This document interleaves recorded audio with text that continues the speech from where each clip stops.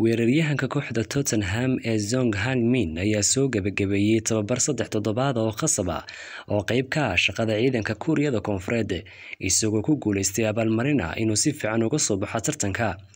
Saraakiisha ayaa sheegay inuu si heersare u bartay xirfadda toogashada, isagoona kaalinta koowaad ka galay boqol iyo toddoba iyo konton qof oo tababar qaadanayay.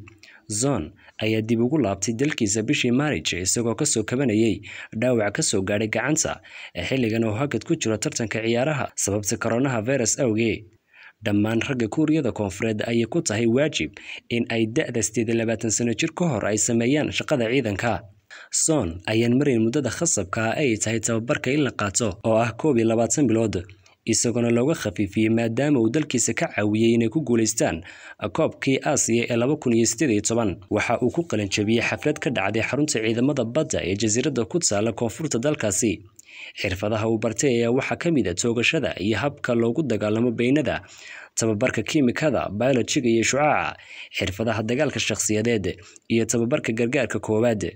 Tottenham ayaa ciyaaryahankooda ugu hambaliyeysay baraha bulshada, iyagoo sheegay inuu London ku soo laaban doono toddobaadka soo socda. Son ayaa bishii February waxa uu maray qaliin lagaga sameeyay dhaawac ka soo gaadhay ciyaar kooxdiisa Tottenham ay la ciyaaraysay kooxda kale ee Aston Villa.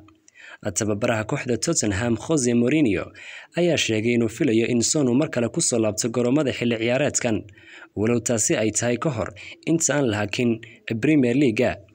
Inkasta oo hadda dhammaystay tababar ciidan, Son waxa kale oo u dhiman inuu dhammaystiro saacadood oo ah adeegga bulshada ee afar iyo soddonka bilood ee soo socda.